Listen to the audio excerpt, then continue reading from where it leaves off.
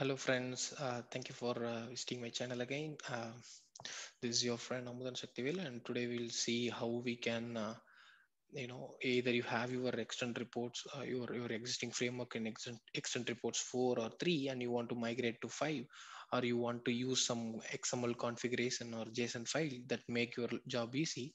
So, so we'll see that how we can use uh, extent configuration files to do the setup part so so in last video we have already seen like i know we wrote these three lines of code to to change the default theme to dark and to set the document title and the report name but if you don't want to write these three lines of code instead you want to you know give the control to a file so, so you know to an external file suppose for some reasons your manual testers want to change the document title that you know before running your test.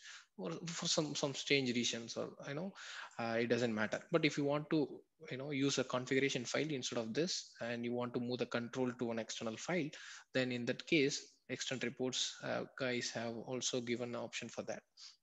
Go to their go to their official website like we already seen that.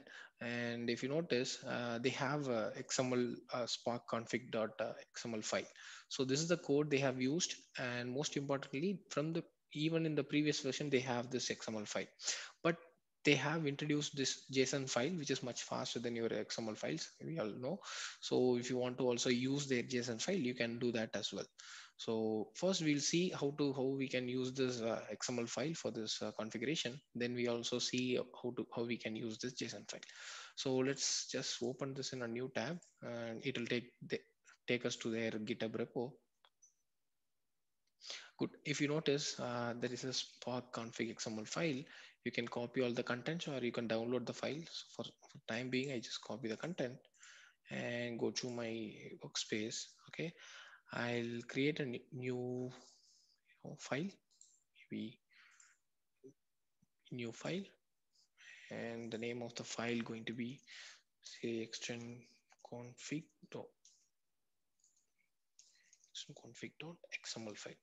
Okay, this is an XML file, right? So good. So I don't want to view in this way. So let me open it with text editor so that I can directly copy paste this, right?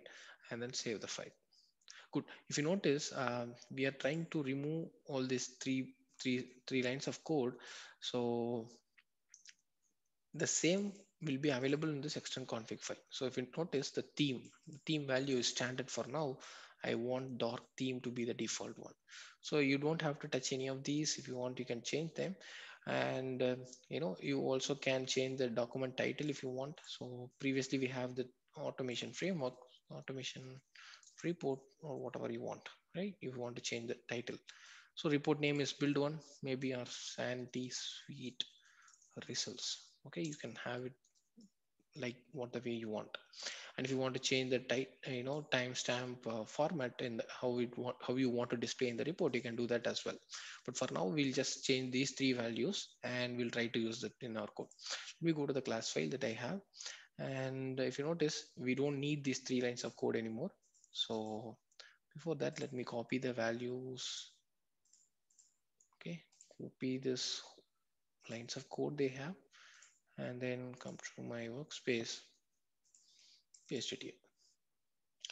As I already told, we don't need these three lines of code and I have commented them. So let me import the files from Java.io. And since we have already have this, we don't need this anymore. Okay, so let's let me remove that okay and you also notice it will throw some exceptions that's okay you can throw them it's not a problem. So now if you notice um, it's again uh, the file we are you know the extent configuration file uh, what they uh, they have given is the, you need to create a folder called config and then you need to create a xml file. But in our case we have created a file called extent config in our root folder. So you don't have to use this.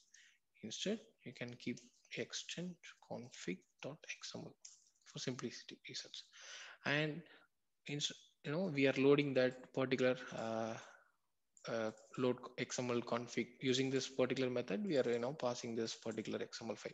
So extent reports will understand they need to use this particular configuration file to do the initial setup for your reports. good the, there is no change in any of these cases so let's again run this okay run as and testing this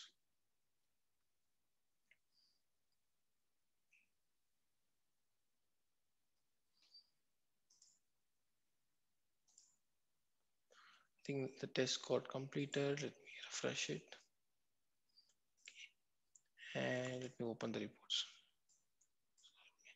Hope you all can see the reports. The same reports uh, you know is generated but this time we have we have used the configuration file. The same way we'll see how we can use the json file okay? So let me create again quickly another file. Let me name it as extent config.json file okay in the root folder and click on finish.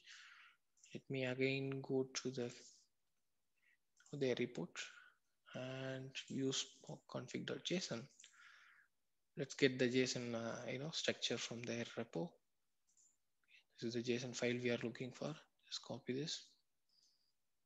Come to your workspace and paste it here. Okay. Again the same way you can change the document title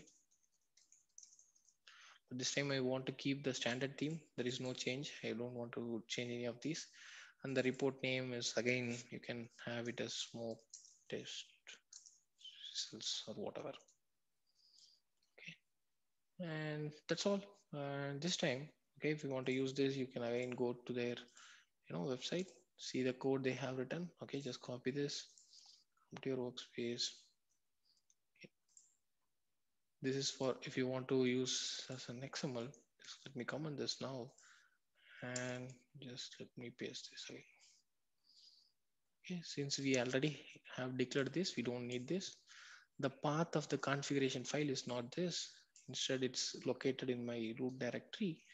So I can tell JSON extent config.json. So it's located in my root directory, right? So there is no change in any of those other step. Okay. Just right click and click on run as TestNG test.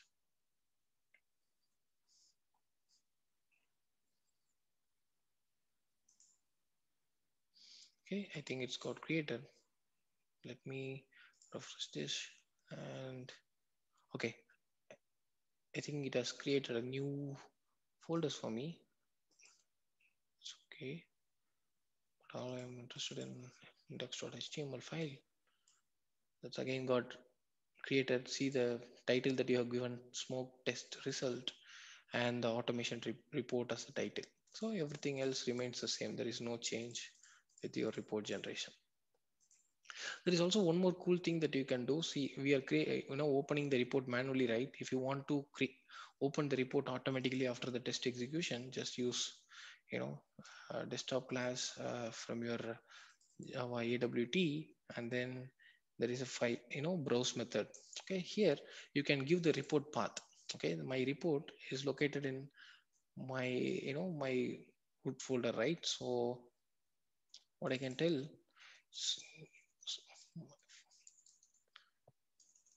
guys new file.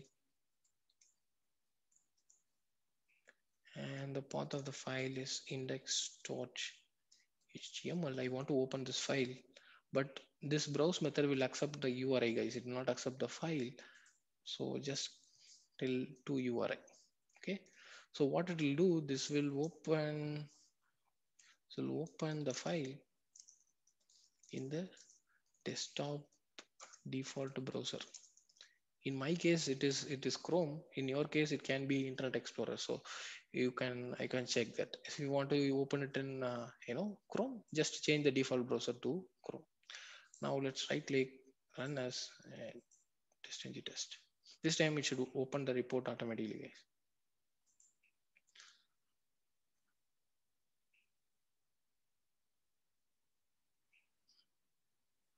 so it opened it automatically see if you notice I have two monitors, so you might not seen it, but it has opened it automatically, right?